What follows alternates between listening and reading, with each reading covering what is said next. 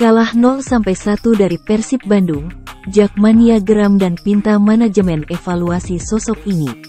Persija Jakarta harus bertandang ke markas Persib Bandung yakni di Stadion Gelora Bandung Lautan Api pada Rabu sore.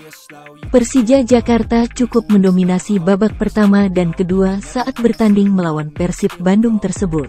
Namun, Persija Jakarta harus kecolongan gol dari Ciro Alvis di menit ke-63 dan membuat skor berubah menjadi 1-0 untuk keunggulan Persib Bandung.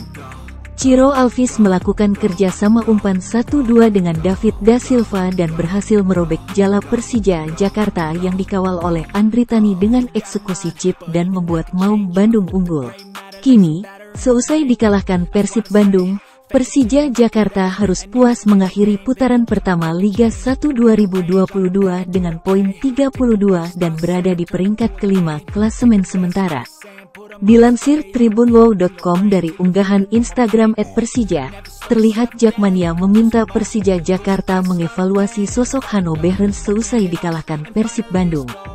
Jakmania menilai permainan Hanno Behrens justru membuat Persija Jakarta gagal menang saat melawan Persib Bandung.